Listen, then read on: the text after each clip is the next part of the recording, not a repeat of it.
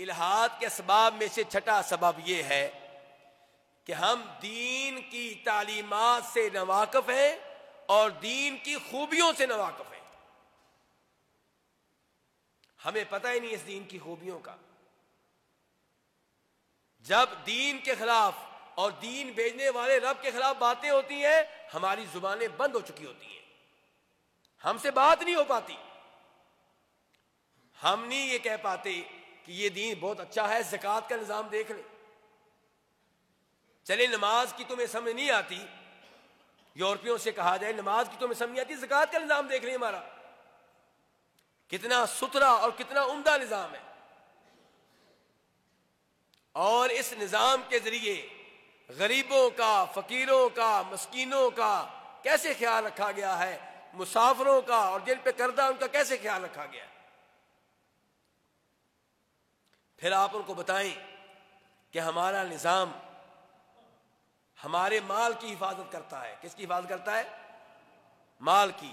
अल्लाह ताला कहते हैं, वसारिक वसारिक दिया हुमा चोरी करने वाला मर्द हो या औरत हो, क्या करो? हाथ काट डालो। ये एक हाथ कटेगा पूरे पाकिस्तान में और एक साल के लिए काफ़ी सबका माल महफूज हो जाएगा। अगर एक हाथ नहीं काटेंगे तो फिर हर घर में बड़े बड़े गेट लगवाने पड़ेंगे लंबी लंबी दीवारें कैम करना पड़ेंगी, और घरों के बाहर कौन खड़े करने पड़ेंगे जी? Security guard. खर्चा कम हुआ के बढ़ गया? बढ़ गया।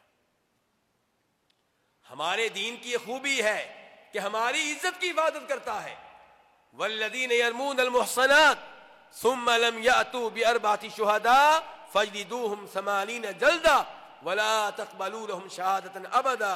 व उलाइक हुमुल फासिकून। अगर कोई किसी मासूम लड़की पे तोमत लगाता है, बदकारी की, जना की, और चार गवाह नहीं लाता, जो साबित करे कि वाकई ये औरत बदकार है, इसने जना किया है, अगर कोई ऐसी तोहमत लगाता है, चार गवाह उसके पास नहीं है, उसकी सजा क्या है? अस्सी कोड़े मारे जाए, चाहे मौलवी हो, चाहे मस्जिद का खतीब हो, चाहे हाजी हो, चाहे नमाजी हो लड़की की इज़्ज़त महफूज हुई कि ना हुई? अगर इस दीन पे सही मानों में अमल किया जाए, ये दीन हमारी इज़्ज़त की हिफाजत करता है। ये गीबत से रोकता है ताकि दूसरे मुसलमान की इज़्ज़त खराब ना हो। ये चुगली से रोकता है ताकि दो मुसलमान आपस में लड़ न पड़े। तो ये मुसल, ये दीन हमारे हमारे माल की हिफाजत करता है। ये दीन हमारी इज़्ज़त की हिफाजत करता है। और इस दीन ने हमसे मुतालबा किया है कि हम दिन में पाँच मरतबा नमाज़ पढ़ें तो वज़ू कितनी बार होगा? आमतौर पे पाँच दफ़ा होता है। पाँच दफ़ा चेहरा धोया जाएगा और फिर जुमा की वजह से गुसल किया जाएगा। मैं तो काफर ममालक में अभी तक नहीं गया, लेकिन जो वहाँ पे रहते हैं, बताते हैं आम तौर पे इन गोरों से बदबू आ रही होती है। आमतौर पे क्या आ रही होती है? बदबू।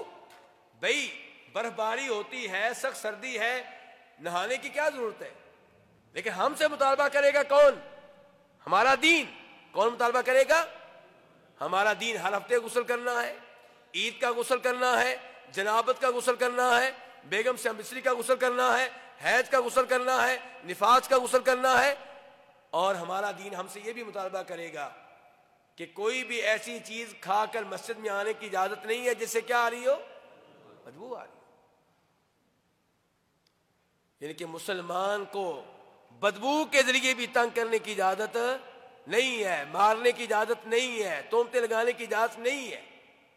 तो ये दीन की खूबियाँ चूँकि हमारे नौजवान नहीं जानते और फिर वो पढ़ने के लिए यूरोप में चले जाते हैं, सुबह शाम इस्लाम के खिलाफ बातें होती हैं, नबी वसल्लम के खिलाफ बातें होती हैं कुरान के खिलाफ बातें होती हैं तो फिर वो मुतासर हो जाती हैं।